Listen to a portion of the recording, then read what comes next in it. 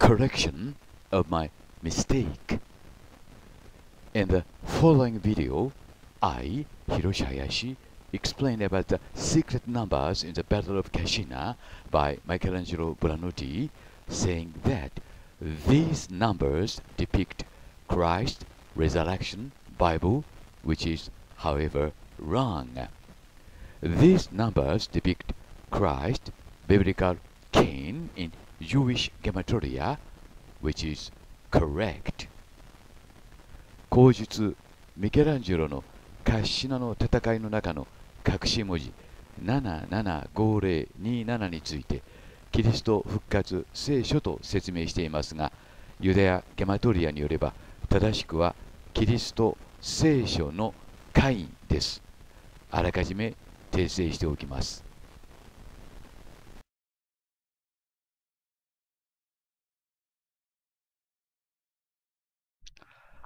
Hello, this is Hiroshi Hayashi, Hamama City, Japan.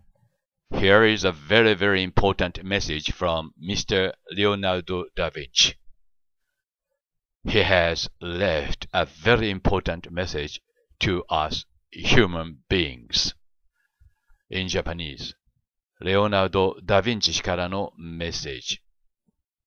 ダ・ヴィンチは私たち人間に大変重要なメッセージを残しました。今日の物語は、この一枚の絵から始まります。なぜダヴィンチはこんな絵を描いたのか。順に、この絵の謎について説明していきます。この葉っぱはどこかトカゲのようですね。そしてこの子供を見てください。目を見てください。この子供たちは明らかに虐待を受けています。ほっぺたは腫れ、左の子供は頬が腫れています。目がつぶれています。そしてこの子供には片足しかありません。また、この子供は、子供の右手はどうなっているのでしょうかこれは、どこか蛇に見えます。蛇を模しているとしか思えませんね。そして、この鳥を見てください。この鳥には片目しかありません。もう一方の目は潰れています。子供の目と同じように半分閉じています。足を見てください。このキリストの足は、6指はですね、6本あるように見えますし、向かって右の足は7本あるように見えます。そしてここに見えるのは手ではないでしょうか。私の思い過ごしだという前言うのは少し待ってください。このヨハネの手を見てください。皮膚がめくれています。そして、その手は不気味に長く細く、そして親指が短いですね。皮もめくれています。そして空に飛んでいるのは黒い鳥ですけども、羽を取ってみると、まさしくそれは UFO なんですね。1965年に確認された UFO です。そして、このスカートのようなものを見てください。逆さまにしますと、これはミケランジェロのピエタ像の姿にも似てますが、ダヴィンチ自身が描いたコンヘッドマンの姿にも似ています。この手は、腕はですね、逆さまについています。反転していますからよくご覧ください。脇の下が下へきましたね。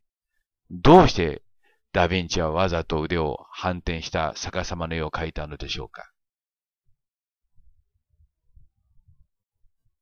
またここを見てください。はっきりとはわかりませんが、ここに足があるのがわかります。足が、足が岩陰から出てますね。そして先ほどの手と比べてみてください。そしてこの腕はですね、えーダヴィンチ自身が描いた恐竜の、恐竜というか鳥なんですけどもね、えーレダーとスワンの中のスケッチが中に出てくる恐竜のようでもあります。そしてここに注目です。これはまさに穴あきドルメンですね。これらは硬化させて3000個以上見つかっている穴あきドルメンですけども、このドルメンは何のために使われたかということはですね、幼い子供たちを閉じ込めておくためだったんですね。そして餌として食べるためにここに閉じ込めておいたわけであります。この子供たち、ドルメン、明らかに虐待を受けた子供たち、ここに足、手がある。足がある。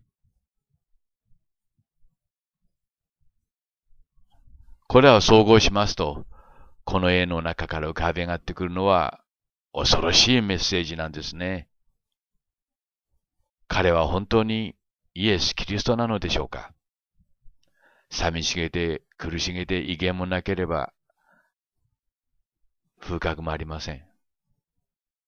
そしてこのイエス・キリストの首を見てください。ブルーの中央のラインが喉仏のラインです。そして異様に太い撫で型、首。わかりますか？右の方は暗くて見えませんが、これはダヴィンチ自身が残したレプタリアンの骨格像です。細い骨をですね、何本かの剣で支えています。これはダヴィンチ自身の自画像です。が一つだけはっきりしていることがあります。もし彼が敬虔なクリスチャンであったら、こんな絵は描かなかっただろうということです。もう一つの証拠をお見せいたします。これは有名な受胎国主の絵ですね。この女性を見てください。マリアの顔をじーっと睨んでいます。このヨセフの目を見てください。じーっと睨んでいます。どうしてこんな鋭い目つきで睨んでいるのでしょうかそれについては、ウィキペディアが次のように説明しています。魔女である。フクロウを、魔女を、フクロウというのは魔女を意味したと。そして凝視する目を持つ女の女神の像は、まさに悪魔の目なんですね。この真ん中に中央に置かれた台を見てください。これは皆さん何に見えますか？フクロウですよね。どう見ても袋でしょう。ダヴィンチは袋を描いたのです。悪魔の象徴である袋を描いたのです。すなわち、マリアは悪魔に祝福されているということになります。そして、今まで見てきましたように、イエス・キリストは悪魔に祝福されたといることになります。これがレオナルド・ダ・ヴィンチ死からのメッセージです。ダヴィンチはまたこんなキリスト像を残しています。どう判断なさるか皆さんのご自由です。Thank you very much for watching and see you again next time. Bye.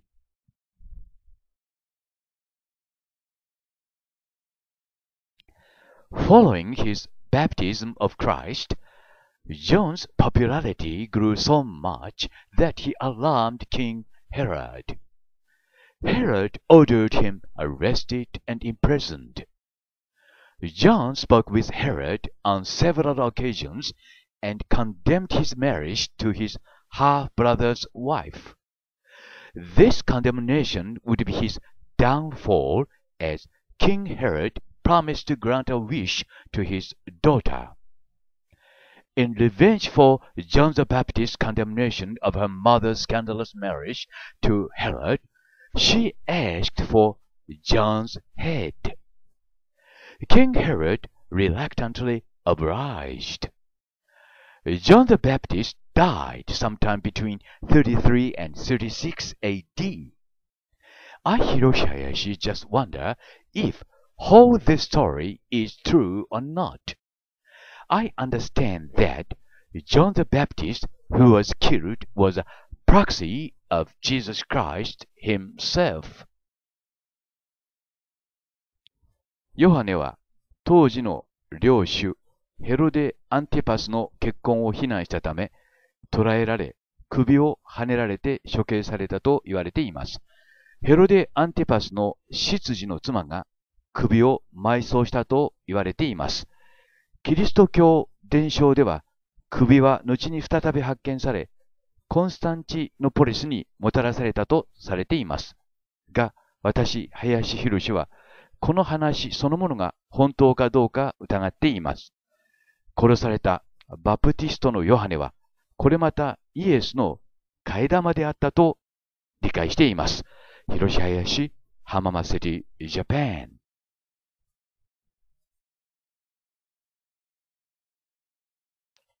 今日の話は大変複雑ですから、結論を先に話しておきます。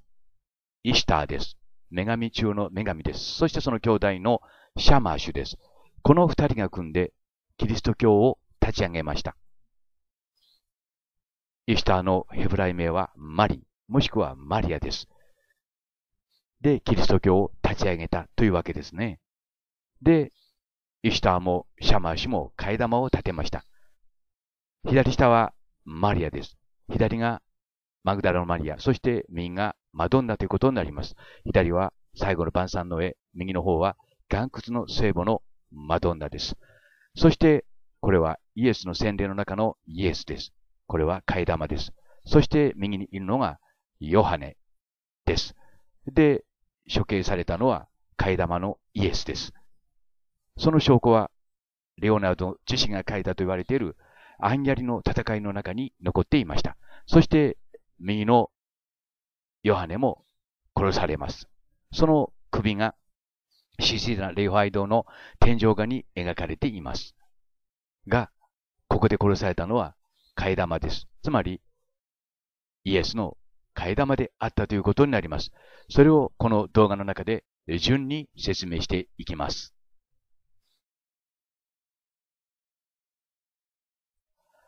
これがベロッキオとレオナルドが描いたと言われているイエスの洗礼と呼ばれている絵です。この絵そのものがですね、すでに1500年代に修復されているということだそうです。そして最近また修復されました。現在大変綺麗な絵になっています。中央にいるのがイエスということになっています。向かって右側にいるのがバプティストのヨハネということになっています。で、修復前の絵を、絵の写真を手に入れました。向かって左側が修復前です。で、この絵で検証してみます。左にいる二人の子供に注意してください。拡大してみます。目に注意してください。子供の目に、目は腫れ上がって目の周りにはクマができています。頬にも傷があります。つまり、この子供たちは虐待を受けた子供たちということになります。ですから世間一般で理解されているような、まあ、そういった絵ではなくて、この絵の向こうには恐ろしい物語が隠されているということです。そうした絵の中にイエスが立ち、そしてその右側にヨハネが立っているということです。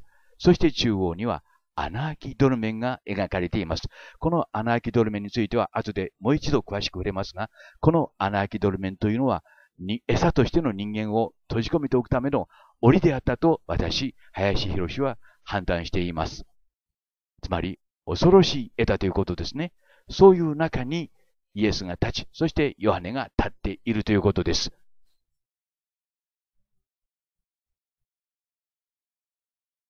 で、話を先に進めます。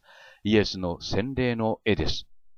このイエスの洗礼の向かって右側に立っているバプティストのヨハネに注意してください。腕に注意してください。指に注意してください。指が異様に長いのがわかります。そして腕の皮膚はめくれています。まず、指を見ています。特に人差し指と中指に注意してください。長いですね。もうすでにあちこちで紹介してきました。そしてその指の間にはヒレのようなものが隠し込まれています。あるいは皮膚がめくれているのかもしれません。そして腕も異様です。皮膚がめくれています。つまり、ヨハネは少なくとも人間ではないということを、このような形でベロッキオとレオナルドが表現したと、私、林博は考えています。つまり、こちらの方が、実はイエスということになるわけです。中央に立っているのは、替え玉のイエスということになります。そのこともこれから証明していきます。つまり、向かって右側が本物のイエスであり、そして中央に立っているのは替え玉のイエスということになります。そのことをレオナルドは別の絵で証明しています。これは以前、私が1500年後のイエスと証明した男たちです。この胸を見てください。その右の、いわゆるスケッチ画とですね、左のイエスの洗礼の絵に描かれている、え、ヨハネの胸を比較してみてください。まあ、酷似しているというレベルを超えて同じだということです。細かい部分を見ていくと違いがないという点で同じだということです。知恵深く見てください。すなわち、向かって左側のこのヨハネこそが実はイエス自身であったということになります。まあ、ここが一つのポイントですから、皆さんも注意深く判断してください。顔というのは違いがないという点で同じと判断します。まあ、このような形で向かって右に立っているヨハネこそがイエスということになります。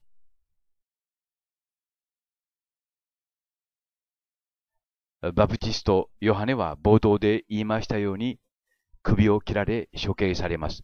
その時の様子をミケランジェロがシスティーナの礼拝堂の天井画として描いています。えー、その天井画を紹介します。この部分にそれがあります。これがその天井画です。注意深くご覧ください。中央に二人の女性らしき人が生首を持って歩いています。首です。生首です。まあ、それについて、えー、このように説明されています。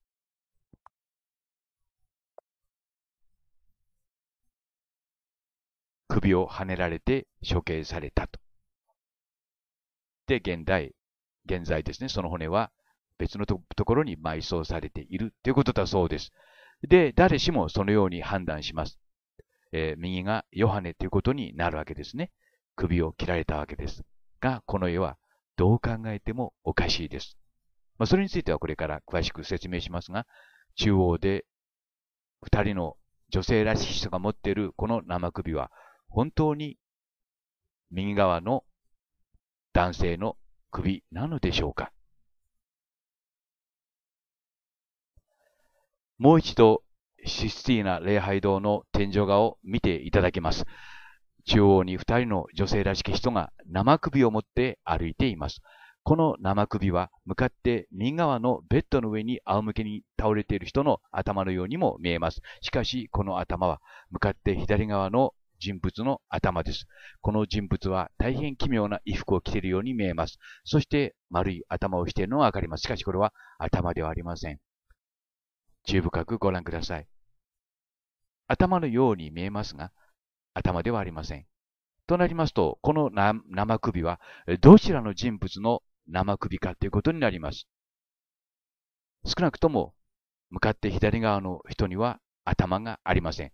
右の方にはあるようにも見えます。という点から、この頭は向かって左側の人物の頭ということになります。で、生首について検証してみます。この生首は向かって右側の人物の生首なのか、それとも左側の人物の生首なのかということになります。繰り返しますが、一般には向かって右側のベッドの上で仰向けに倒れている人物の生首と理解されています。しかし、この向かって左側の人物の頭を見ていただきたいと思います。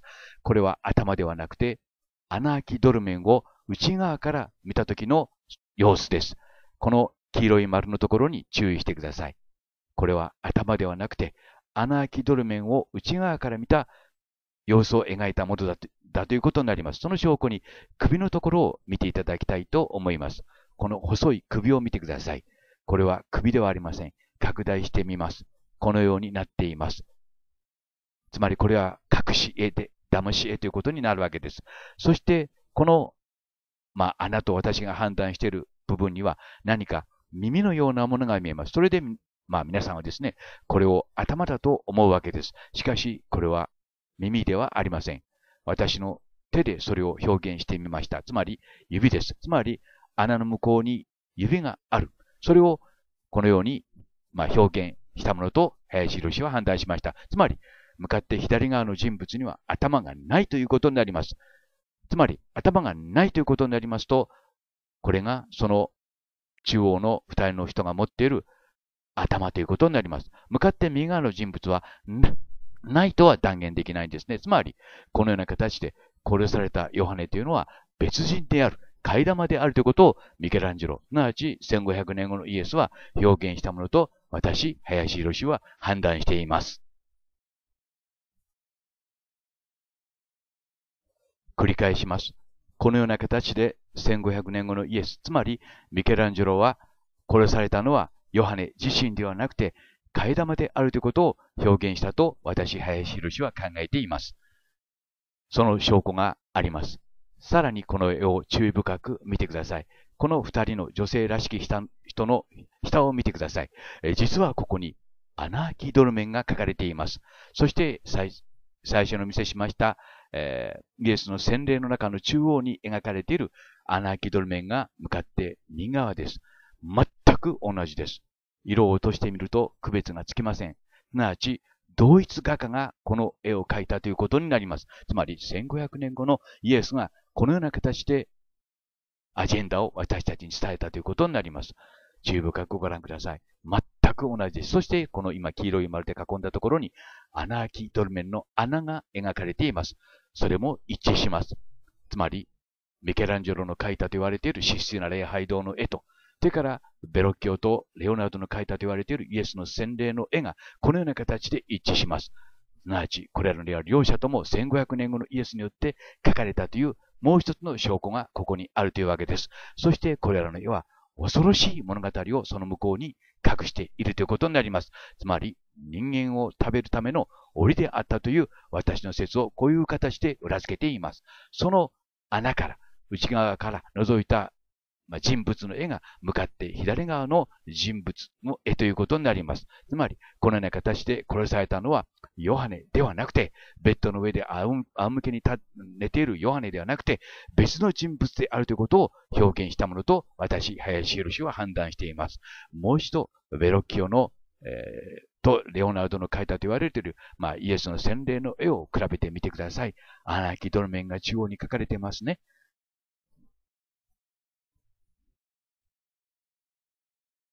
もう一度、イエスの洗礼の絵を見てください。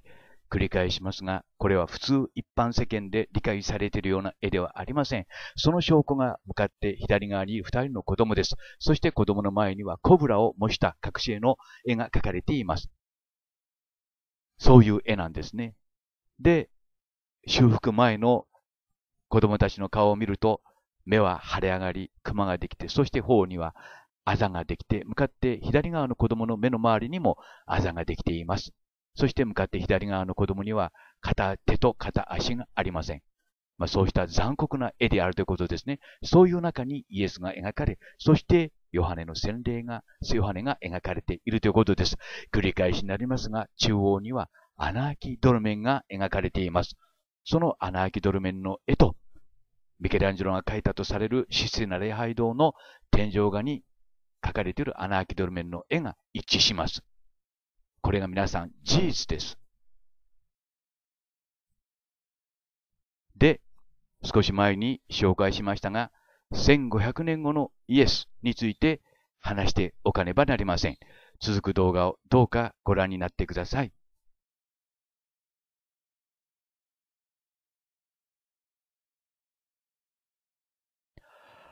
The Pieta is a work of Renaissance sculpture by Michelangelo Buonarroti, housed in St. Peter's Basilica, Vatican City. It is the first of a number of works of the same theme by Michelangelo Buonarroti. Michelangelo completed the work in 1499 at age 23 or 24. The Pieta is, however, full of mysteries. Was it really created by Michelangelo Buonarroti? Today's story starts from here. ミケランジェロのピエタ像。1499年から1500年にかけて完成されたと言われています。ミケランジェロが23歳から24歳の時のことです。が、このピエタ像は謎に満ちています。本当にそのピエタ像はミケランジェロという一人の人間によって彫刻されたものなのでしょうかその疑問の第一が、ペータ像のイエスの右腕にあります。その右腕には奇妙なヒレとコブがあります。特に上腕のヒレに注意してください。注意深くご覧ください。ミケランジェロは同じ人物をカッシナの戦いの中で書いています。カッシナの戦いの右端、下にいる人物です。私、林博士がダヴィンチ自身であると今までに証明してきた人物です。同じ顔のスケッチ画をダヴィンチ自身が書き残しています。この人物は頭に鼻の王冠をかぶり、足の皮をベローっと剥いでいます。靴下を履いているのではありません。足の皮をベローっと剥いでいます。この人物の腕にもやはり奇妙なヒレとコブがあります。ペータ像の中のイエスがイエスであるなら、この人物もまたイエスということになります。同じヒレとコブがその証拠ということになります。が、そのヒレと全く同じものをダヴィンチがスケッチ画として書き残していました。ダヴィンチの解剖図です。その両者を並べておきますから、皆さん自身でしっかりと確認しておいてください。となると、ここで奇妙なことが起きます。なぜペータ像のイエスと同じヒレとコブがダヴィンチの描いたスケッチ画の中にあるかということです。どちらかがどちらか一方を真似たということになります。ミケランジェロがダヴィンチの解剖図を見てそのように彫刻したのでしょうかが、それはありえません。実に奇怪なヒレとコブです。ならば、ダヴィンチがミケランジェロの彫刻を真似て解剖図を描いたのでしょうかが、それもありえません。ダヴィンチはこの他にも似たような奇妙な解剖図を多く書き残しています。となると、今日の動画はこの謎に迫ってみます。その向こうには驚くべき事実が隠されていました。広し林浜松シティ、ジャパン。では、画面を見ながら説明します。これがミケランジェロがですね、23、4歳から25歳くらいの時に完成したペータ像と言われています。このペータ像についてはですね、当初より、まあ、おかしな噂がありました。えー、ここにも書いてありますように、クリストフォロ・ソラリが彫刻したんじゃないかとかね、あるいはミラノのセムシ男が彫刻したんじゃないかという噂が立ったわけです。で、それを聞いたミケランジェロがですね、怒って、まあ夜中にですね、教会へ忍び込んで、このタスキのところに、えー、ミケランジェロ・バラノティという自分の目を彫ったということで知られています。で、この像の、まあ、イエスが抱かれているわけですけども、えー、この、まあ、イエスの右腕に注意してください。ボコボコボコと奇妙なコブができてますね。そして、この上腕の方にはヒレまでついているように見えます。ここが今日のポイントになりますから注意深くご覧ください。まあ、これは筋肉ではありませんね。コブですね。ボコボコボコとコブが出ています。で、このコブが何かっていうことなんですけども、まあ、それについてはまあ別のところで論じましたので、今日はまあさておいてですね、このコブと同じものをですね、ミケランジェロがカッシナの戦いの、まあ、右端の下にいる男性に描いています。まあ、このコブに注意してください。実に奇妙なコブなんですね。これは筋肉ではありません。しっかりと確認してください。そして、これがカッシナの戦いです。で、右の下にいる男性。この男性に注意してください。これは私が、えレオナルド・ダ・ヴィンチであると、えー、判断した男性です。頭には花の冠をかぶっています。すなわち、このカシナの戦いのレプタリアンの軍曹の中の長であることを示しています。キングオブキングスということになるわけです。そしてこの男性の左腕ですね。比べてみてください。えー、縦にして、そして反転してみます。そして拡大してみます。するとですね、この特に上腕に注意してください。右の方はですね、黒い影に隠れてますけども、やはり、まあ、ヒレがあります。そしてコブがありますね。注意深くご覧ください。ミケランジェロは、まあ、ほとんど同じ、えー、腕をですね、このカシナの戦いの右端の下の男性に描いたということになります。特に中央の丸のヒレに注意してください。まあ、右の方は黒い影になってますから見えにくいですけども、ヒレです。で、左がイエスであるならば、右もイエスということになります。なわち、このような形で、えー、ミケランジェロは、えー、カシノの戦いの右端の下の人物がですね、イエスであることを示しました。が、このイエスはただのイエスではありませんでした。で、話を進める前にですね、ダヴィンチが解剖図をたくさん書き残しています。これがその中の一枚ですけども、まあ、この男性のやはり右腕、肩を見てください。ここに奇妙なコブがありますね。そして上腕には奇妙なヒレのようなものがあります。拡大してみますと、全く同じになるというのは大変奇妙なことだと思います。上腕のこのヒレに注意してください。えー、ダヴィンチの描いた解剖図の男性にもそのヒレがあります。注目かごご覧ください。ここが今日の重要なポイントということになります。すなわち、ミケランジェロの彫った彫刻と同じものをダヴィンチが解剖図として書き残していたということになります。そしてこの左上にいる人物が、これがダヴィンチ自身であると私は判定、判断いたしました。はあ、いわゆるまあ、私たち知っているダヴィンチの特徴を皆兼ね備えて、備えているわけですね。左がミケランジェロの歌詞の戦いの中の、えー、花冠をかぶった男性です。比べてみると、この両者は同じであることがわかります。割れた顎ですね。それから、あこけた方。それからその耳の下にコブがありますね。それから耳たぶのない小さな耳。耳の形も一致しています。そしてこの鼻ですね。鍵鼻。それから鼻の先が二つに割れているところもダヴィンチの特徴です。鋭い目、細い眉毛。それから歯並びの悪い歯ですね。そして広い口。そして、ま、まあ、頭ですね。そしてここにコブがありますね。これがダヴィンチの特徴ですね。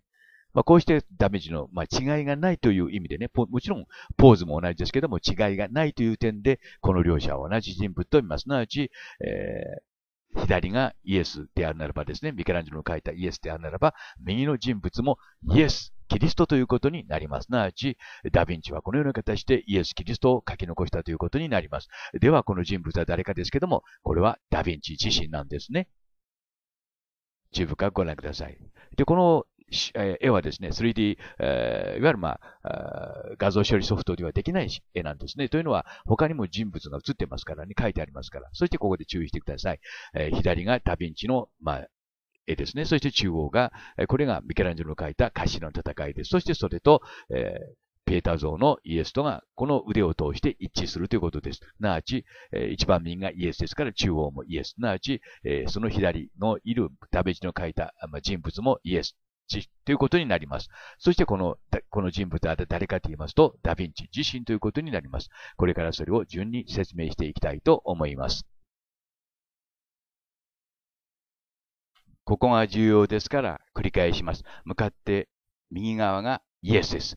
それと同じ腕を持った中央もイエスです。そして向かって左側の男もイエスということになります。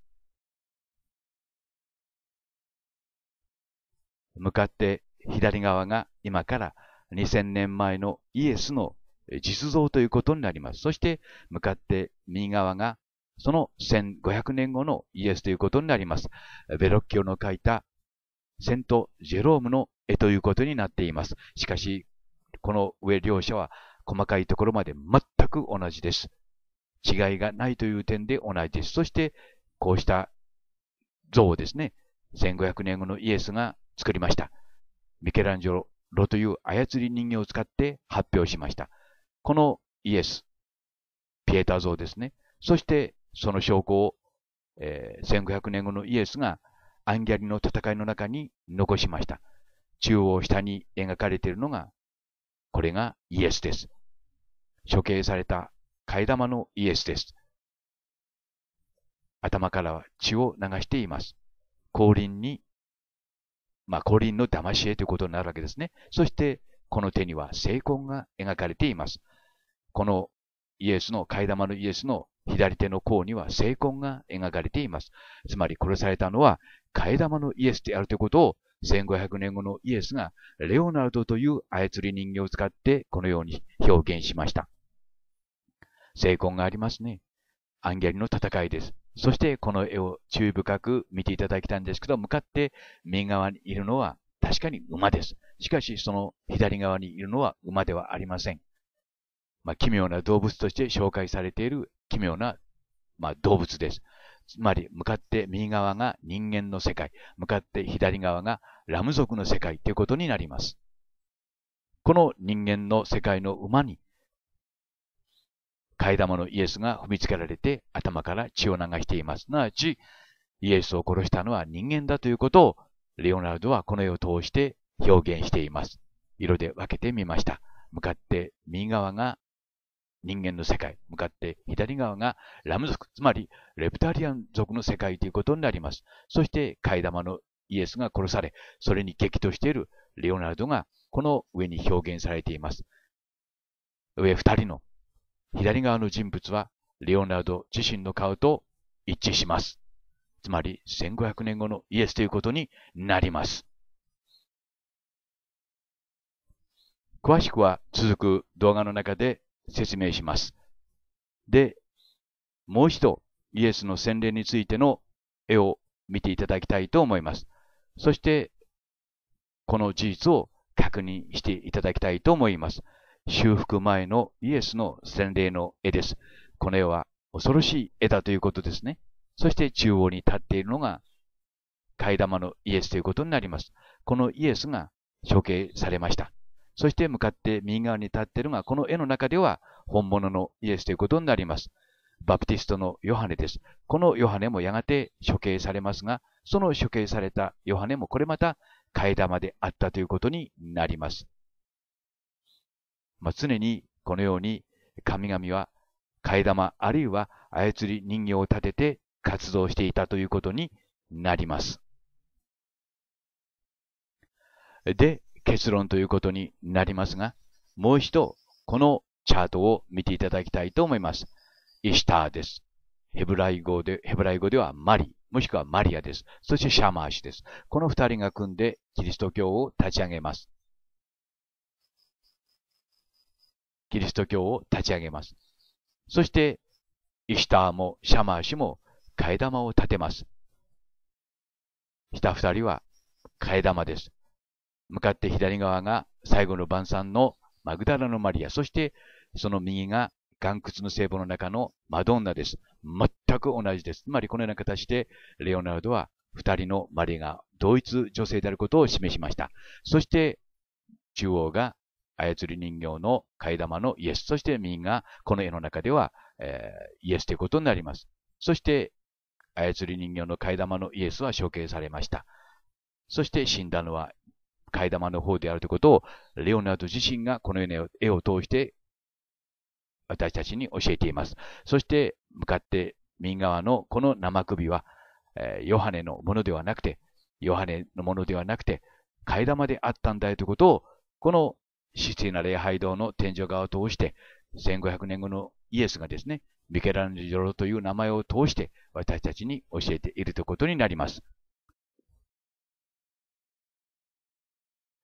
で、その後、イシターとシャマー氏は決定的な破局を迎えます。その様子を表したのが私はこの絵だと判断しています。向かって左側にいるのが男性と思われます。向かって右側にいるのが女性と思われます。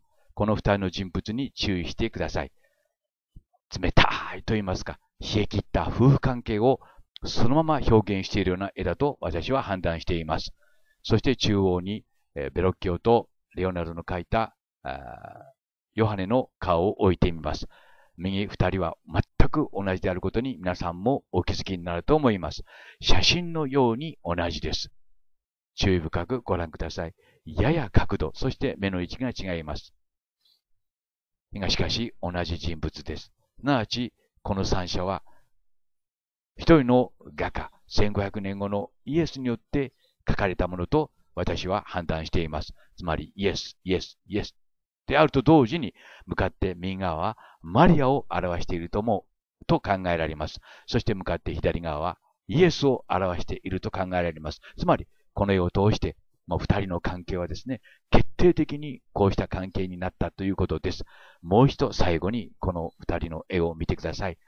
冷たい感じがしますね。まさに冷え切った夫婦ということになります。これがイシターとシャマ、すなわちマリアとキリストの関係ということになります。それを象徴的に表しているということになります。続く動画の中でさらに詳しく説明します。どうかご覧になってください。Bye for now.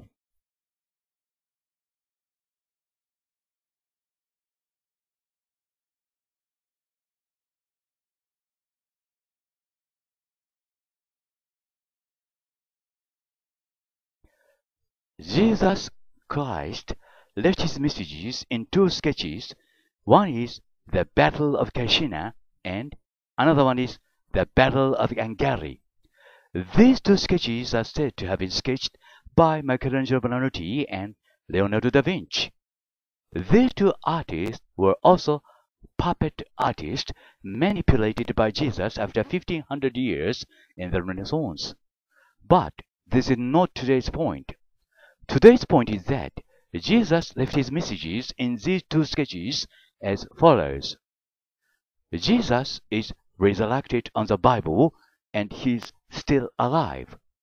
His proxy Jesus was killed by a Roman soldier and Jesus was very much raged about it. Here you see this message with evidence and also I point here in this video that his death date was concocted according to the numbers hidden in the sketch The Battle of Cascina by Michelangelo. Leonardo died on May the 2nd at age 67. I mean that his death date was concocted, which indicates that he did not die on that day. Leonardo was alive when Michelangelo sketched the Battle of Cascina. The messages can be read that Jesus is still alive, keeping an eye on us humans.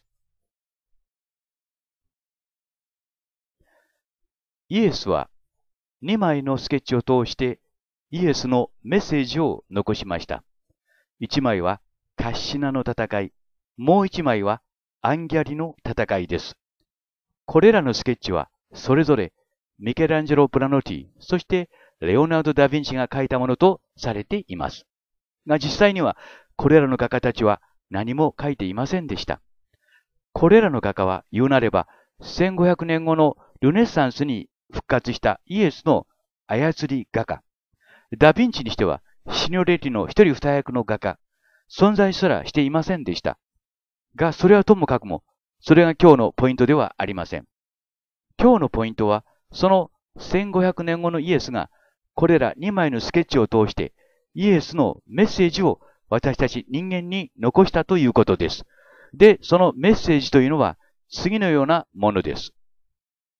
私、イエスは聖書により復活した。替え玉のイエスはローマの兵隊によって殺された。私、イエスは心を痛め、激怒している。が、それだけではありません。ミケランジェロが書いたとされるカッシナの戦いの中には、775027という数字が隠し込まれていましたが、その中から7、5、2という数字を抜き出し、レオナルドは自分の死亡日としたということです。レオナルドは67歳の5月2日に死んだことになっています。ミケランジェロなる画家がカッシナの戦いを描いた時には、レオナルドはまだ生きていました。まだ生きている間に、あらかじめ自分の死亡日を決めていたということになります。つまり、レオナルドなる画家はその日には死んでいない。そういうことになります。つまり、レオナルドなる画家の死亡日は、捏造された死亡日であったということになります。以上、イエスからのメッセージをまとめると、こうなります。私は聖書により復活した。ローマ軍の兵士に殺されたのは、替え玉のイエスの方である。私は心を痛め、激怒している。私の死亡日は67歳の5月2日とする。その日に操り人形として働いたレオナルド・ダ・ヴィンチなる画家は死んだことにすると。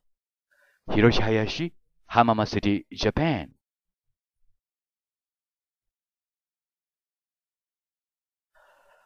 では、画面を見ながら説明します。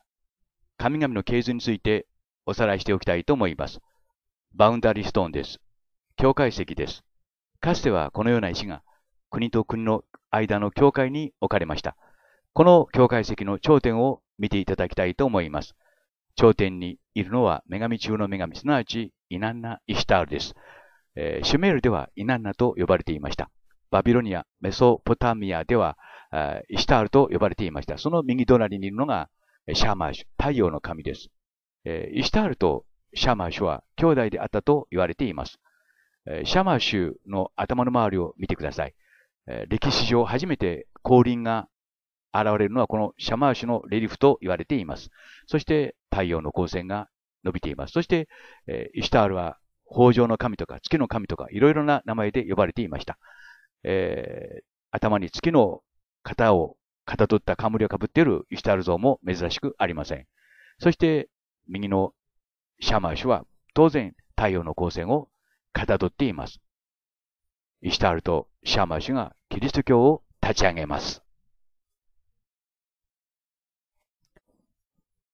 で、今ご覧いただいたのがこのバウンダリーストーンです。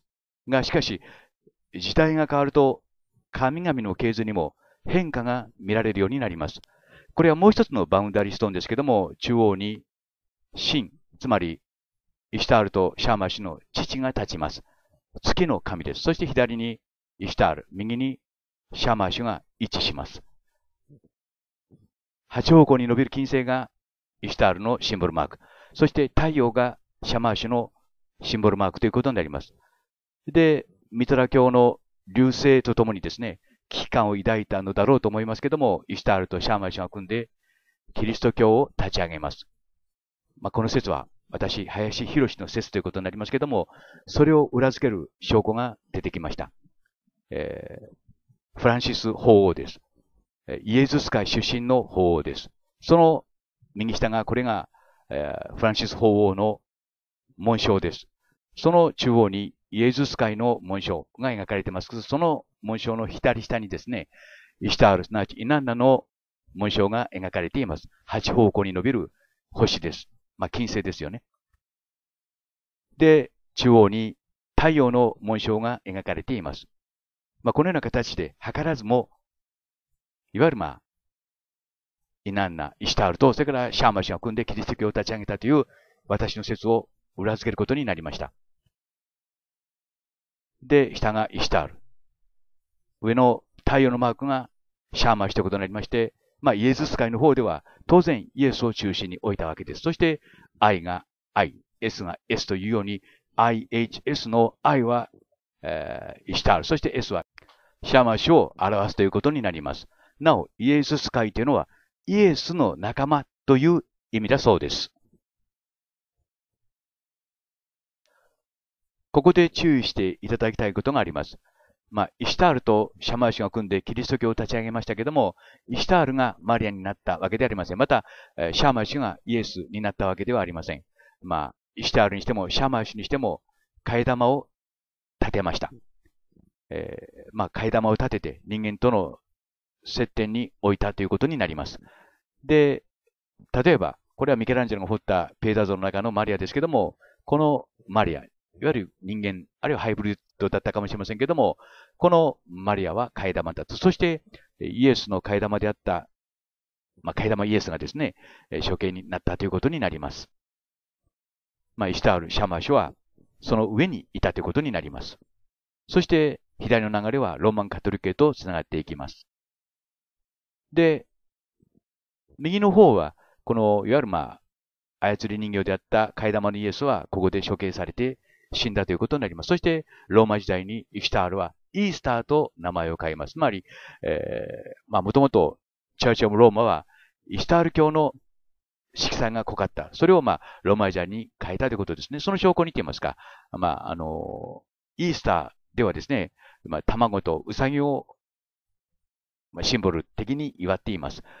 まあ、あの、もともと卵にしても、ウサギにしてもですね、もともとは、まあ、なんて言いますか、豊か、多産を意味するということで、まあ、このように、それに使われたわけですね。まあ、イースターエッグというふうにして、現在知られています。で、ウサギについてはですね、まあ、あの、まあ、いろいろな説がありますけども、この論文の中にはこのようにあります。まあ、ウサギというのはですね、神聖な動物であったと。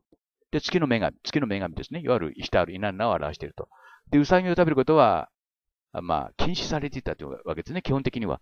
まあ、古代においては。まあ、神聖な動物ってことになっていたんだそうです。そして卵と同様、まあ、法上の問題を改善すると考えたということは、まあ、卵にしても、ウサギにしても多産であるという点でね、いわゆる、まあ、あの、豊穣を意味したと。そういう意味で、イースターエッグというのが生まれたということですね。なので、イスタール、イコールイースターというわけです。その証拠というわけでもませんけども、あ左の像はこれ、イスタールです。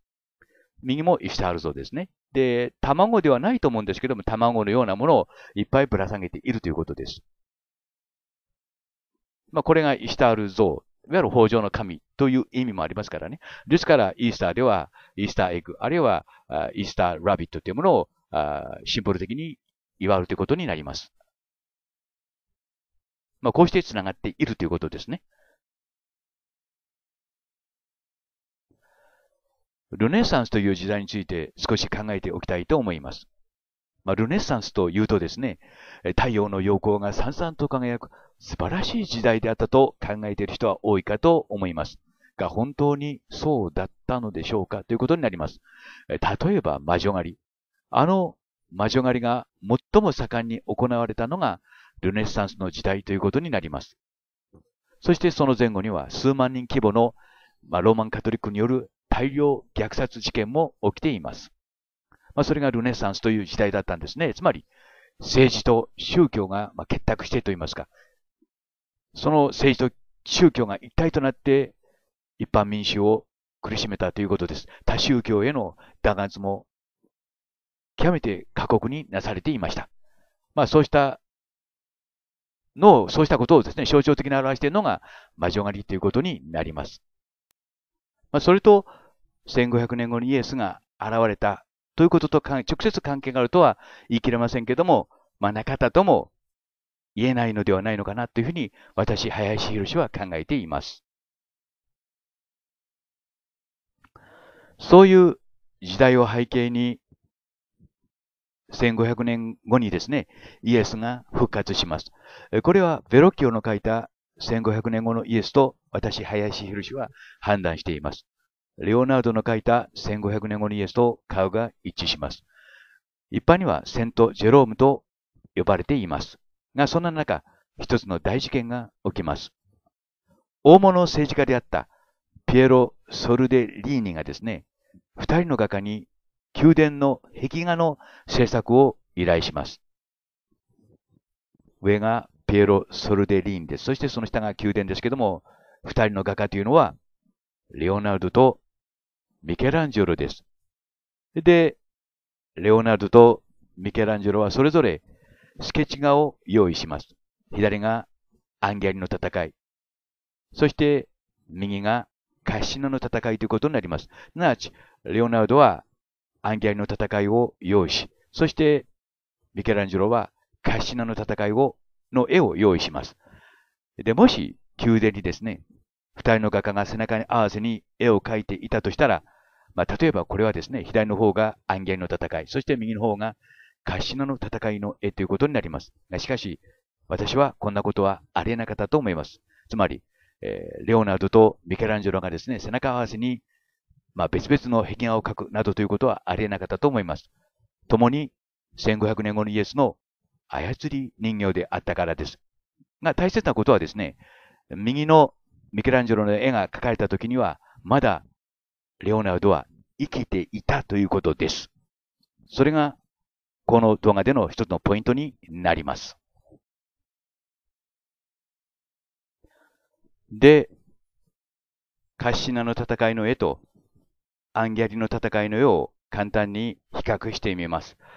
ピエロ・ソルデリーニはですね、この戦いの絵を描くように、まあ、レオナルドとミケランジェロに依頼したようですね。で、ともかく上がカシノの戦い、下がアンギャリの戦いの絵ということになります。まあ、輪郭も似ているということですね。まあ、これは偶然の位置かもしれません。まあ、大変、まあ、よく似ている絵ということになります。そして、カシナの戦いの方には775027という数字が隠し込まれていました。注意深くご覧ください。775027という数字が隠し込まれていました。まあ、これは私、林博が発見したことです。そして、下のアンギャリの戦いの中にも、やはり隠し絵が仕込まれていました。一番わかりやすいのは、向かって右側にここに竜の絵が隠し込んでありますね。他にも十いくつ、十数個、私、林は発見しています。広しは発見しています。そして77は、え、ジーザス、イエス、そして号霊が復活、そして27がバイブルという意味だそうです。まあ、このような形で隠し文字、そして隠し絵が仕込まれていたということになります。共に隠し文字、隠し絵という部分で、えー、共通性が見られるということですね。そしてこの右上の頭の戦いの右端にいる男と、それからアンギャルの戦いの中央にいるこの男性は同じ男性です。それを説明する前に少し傍証を固めておかねばなりません。これはミケランジェロが彫刻したと言われているピエタ像です。このピエタ像の向かって左側、イエスの右腕に注意してください。奇妙なコブがボコボコと出ています。この腕と同じものがカシナの戦いの中に描かれています。右下の足の皮をベロッと履いているこの男に注意してください。頭に王冠をつけています。すなわち、すなわち王であることを示しています。その男の腕を立てます。反転します。そして拡大してみますと、このその腕は先ほどのペータ像のイエスの腕と一致します。で、ここも一つのポイントですから注意深くご覧ください。ヒレのようなコブができています。普通はこんなコブはありませんね。注意深くご覧ください。このコブですね。そしてその下のコブも一致しています。この下の方のコブですね。それから、まあ、全体に、まあ、コブ、コブでコブコブになっていますけども、ここにもコブがありますね。そしてその下の腕もやはり同じように描かれているのがわかります。すなわち、左がイエスですから、右もイエスということになります。繰り返します。左がイエスですから、右もイエスということになります。すなわち、右の人物もイエスということになります。つまりこのような形で、ミケランジョラ、ミケランジョロなる、えー、芸術家はですね、まあ、その右下にいる男はイエスであることを、表現しました。ここが一つのポイントですから、しっかりと確認しておいてください。左がイエスですから、右もイエスになるということですね。で、それと同じと言いますか、同じようなコブを持った人間をレオナルド自身が描いているというのも大変興味深いです。これはレオナルドが描いたとされる解剖図の一部です。まあ、このように同じようなコブが表現されています。このコブと、それから一番左のコブですね。もう一度見てみます。注意してみてくださいね。えこのコブと、それから両方のコブを見比べてみてください。一致してますね。すなわち、えー、レオナルドも書い、レオナルド書いた解剖図の男も、やはりイエスということになります。全く同じなんですね。これをどのように理解したらよいかということですね。左二つはこれミケランジェロですからね。で、右、一番右はこれはレオナルドですからね。で、先ほど言いましたように、左下がイエスですから、後の二人もイエスということになります。すなわち、カシナの戦いのこの右下に描かれているこの男性もイエスということになります。頭には花冠をかぶっています。王者であることを示しています。まあ、こうして、まあ、イエス、イエス、イエスと繋がっていくということですね。そして、右下の男もイエスということになります。もう一つ、帽子を固めておきます。2000年前のイエスの顔です。500年前のイエスの顔です。で、処刑されたのは替え玉のイエスということになります。まあ、マリアの腕に抱かれているのは替え玉のイエスということになるわけですね。で、上二人がイエスの実像ということになります。で、じゃあ、替え玉のイエスが死んだという証拠がここにあるわけです。これはアンギャリの戦いの絵ですけども、馬に踏みつけられて、今にも息絶えようとしているのがイエスということになります。頭から血を流していますけども、これは降臨をかたどったものだと考えられます。いわゆる降臨ですよね。すなわちこれはイエスだということです。その証拠に、この男の左腕の、左手の甲には、聖痕が描かれています。ここに聖痕が描かれています。つまりこのような形で、まあ、1500年後のイエスはですね、替え玉のイエスは死んだということを表現しています。で、それを殺したのは誰かということになりますけども、それは、右のローマ軍の兵士の帽子をかぶった男ということになります。その証拠がこの馬なんですね。右の方はこれは馬のようですけども、左の動物はこれは馬のようであって馬のようではないということになります。耳と口に注意してください。つまり、分かりやすく言えば、左がレプタリアン族、右が人間ということになります。つまり、レプタリアンのイエスが人間の男に殺されたということをこのような形で表現しているということになります。まあ、もう少し分かりやすく言いますと、ちょうどここで2つの画面に分かれるわけですね。右の方が人間、左の方がレプタリアンということになります。そして人間の方の馬の下にイエスが、まあ、踏みつけられ、踏みつけられています。すなわち、イエスはこのような形で人間によって殺されたということを表現しているということになります。で、もう一度この絵を見ていただきたいんですけども、イエスが今、生き絶えようとしているということになります。そしてそれを、まあ、殺しているのが、ローマの兵士ということになります。で、この中央の男を見ていただきたいんですけども、この男と、そして、まあ、この男を今拡大していますけども、この男と、それからレオナルドが別のところに書いている2000年前のイエスの自画像と顔を比べてみてください。細い花、とんがった花、小さな小花。違いがないという点で同じ。すなわち、左のこの激怒している男は、イエス自身ということになります。替え玉のイエスがローマの兵隊に殺されて、そしてそれを良しとしない本物のイエスがですね、まあ、激怒しているという様を表していると、私、林博士は判断しています。まあ、少し前、イエスの怒りと苦悩という動画を作りましたから、詳しくはそちらの方をどうかご覧になってください。右が2000年前のイエス。そして左が激としているイエスということになります。で、いよいよ本題ですけども、この2000年前のイエスを見ていただきたいと思います。そして、先ほどからお見せしています、カッシナの戦いの右下に出てくる男と比べていただきたいと思います。顔が一致しています。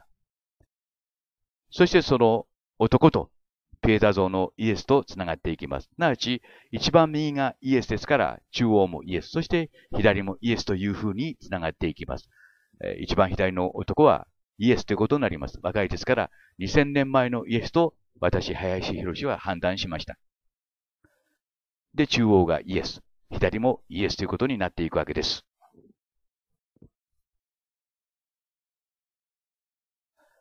もう一度確認のために繰り返します。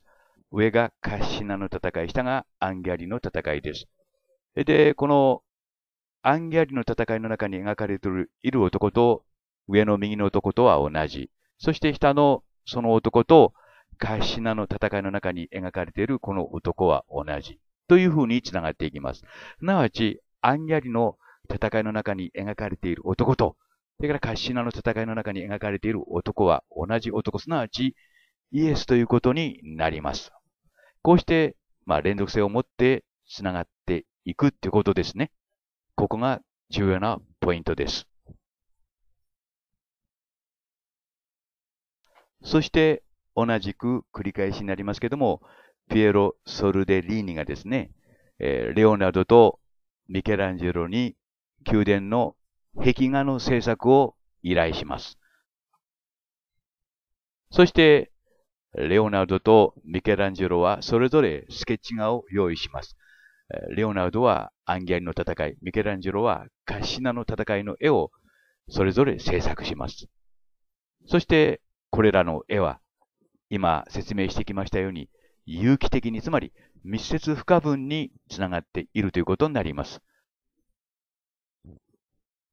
いわゆる別々の絵ではないということですね。で、輪郭もよく似てる。ということもありますけど、その中に775027という数字が隠し込まれている。下の方は、えー、今にも生き対応としているイエスが隠し込まれているということになります。で、77イコールジーザス、イエス。それから50復活、27聖書ということになります。つまり、このような形で上の絵はですね、イエスは聖書により復活したということを表しています。そして下の方の絵では、えー、いわゆるまあ替玉のイエスが生き対応としていると。そういったことを表しているということになります。つまり、2枚1組だということです。が、それだけではありません。もう一度、カシナの戦いの絵を見ていただきたいと思います。この中には、一文字の形で数字が隠し込まれています。この足の皮をベロッと剥いでいるのがイエスということになります。ここにも皮を剥いでいます。この今赤丸でつけたのはこれ、イシタールです。その証明も別のところでしました。まあ、このように皮を剥いでいる人たちがいる。すなわち、皮を剥ぐタイプの人たちであったということになります。まあ、人間ではなかったということですね。まあ、脱皮と。そういうのを脱皮というわけですね。それで、もう一度このカシナの絵を見ていただきたいんですけども、ここにもう一度見ていただきますと、7、先ほど7、7ですね、の7です。で、5、0。ここに0という字が、その右に0という字がつながって、そしてこの先ほどのイエスといった男が2を表しています。そしてもう一つ横に7がありますけども、この7、5、0、2に注意、注意していただきたいと思います。で、繰り返しになりますけど、7、7がイエス、5、0が復活、2、7が聖書という意味だそうです。まあ、ともかくもこのような形で、この中に一文字が描かれています。で、この中の7、5、0、2を取って、レオナルドは自分の死亡日としたということになります。まあ、これが今日重要なポイントですから、もう一度見てください。イエスは復活した。on the Bible ですね。聖書にのっとりという意味です。まあ、こうした、いわゆるまあ、メッセージがこの絵の中に仕込まれていたということになります。が、それだけではないんですね。今言いましたように、レオナルドは67歳の5月、5番目の月ですね、名は。の2日に亡くなったということになりますが、77から7を取り、50から5を取り、そして27から2を取って、自分の死亡日としたということになります。で、この絵ができたのは、先ほど言いましたように、カシノの、このカシノの絵ができた時にはまだレオナルドは生きていましたから、なわち、まあ、死んだ後でしたらね、まあ、その命日を合わせて書いたということになりますけども、まだこの時、レオナルドは生きてましたから、あらかじめまあ、なんて言いますか、こういった数字が分かっていた。つまりその日に合わせて、レオナルドは自分の死亡日を設定した。イコール、その日にレオナルドは死んでいないということになります。つまり、このような形でですね、まあ、レオナルドと呼ばれていた、レオナルド・ダ・ヴィンチという、まあ、架空の芸術家だったんですけども、一応その日に死んだことにして、この世を去ったことにしたというわけです。レオナルドというのは、シノレディの一人二役のもう一方の、まあ、虚像の、虚構の芸術家だったということになります。その証明も林博が別のところでしました。え、ともかくもこの750に合わせて、えー、レオナルドは自分の死亡日を決定したということになります。すなわち、この、今繰り返しになりますけど、この絵ができた時には、まだレオナルドは生きていたわけですからね。ですから、まあ逆だったら、その日に合わせて、あの、こうした数字を書き込んだということになりますけども、あらかじめこの数字が分かっていたということになります。すなわち、レオナルドは67歳の5月2日には死んでいなかったということになります。すなわち、すなわち、あくまでもその死亡日も捏造された死亡日であったということになります。まあ、こうした、そうした謎も、この絵の中絵から読み取ることができます。謎と言いますかね。あの、レオナルドの秘密を知る手がかりを得ることができると思います。上がカシノの戦い、下が、えー、右の方がですね、今、アンギャリの戦いです。そしてその上に君臨していたのがイエスです。2000年前のイエスです。右の方が1000、それから1500年後、今から500年前のルネサンスのイエスということになります。その証明も、えー、別のところでしました。なわちこれは一人の、まあ、画家というよりもイエスだったんですね。そのイエスが彫刻を作ったり、あるいは絵画を描いたりして、そしてその一方で、えー、人間の操り人形を利用して人間との接触を保っていたということになります。その証拠が、いわゆるカシノの戦いとアンギャリの戦いの絵ということになります。まあ、このような形で1500年後のイエスはメッセージを残したということになります。繰り返しになりますが、775027は、え、イエス、復活、聖書。そして右の方の暗言の戦いの方は、いわゆる替え玉のイエスは死んだ。それを殺したのはローマ兵である。そしてそれに対して、本物のイエスは心を痛め、大激としている。ということを、まあ、この暗言の戦いを通してイエスは、えー、表現したということになります。これが、まあ、1500年後のイエスからのメッセージということになります。そしてその上にはイボット、ボスニア語ですね。イタリアの反対側ですけども、その言語で生きているという隠し文字も仕込まれています。イボットです。ボスニア語です。すなわち生きているという意味です。そして、操る人形の、いわゆるイエスは、替え玉はこのようにして死んだ。それを殺したのがローマ兵であると。そして、本物のイエスは大激としているということになります。心を痛めたのだろうと思います。そういったその心の様子を、この2枚の絵を通して表現しているということになります。これがイエスからのメッセージということになります。そしてイエス自身はもうそろそろ消えるかということで、67歳の5月2日に死んだことにした。その数字は、えー、ミケランジェロの描いた絵の方にからその数字を取ったということになります。イエス復活聖書という中から一つずつ数字を取って、そして67歳の5月2日に死んだということにした。イコール、その日に、えー、レオナルドは死んでいないということになります。もともと架空の芸術家ですからね。まあ、死ぬも生きるもないわけです。ということになりますね。まあ、ともかくも、その日に死んだことにして、レオナルド・ダ・ヴィンチという人間の画家、すなわち1500年後の操り人形としての芸術家はこの世から消えたということになった。あるいはそういうふうにしたということになります。まあ、そのように解釈するのはごく自然な流れではないかと私、林印は考えています。以上がイエスからのメッセージということになります。バイ。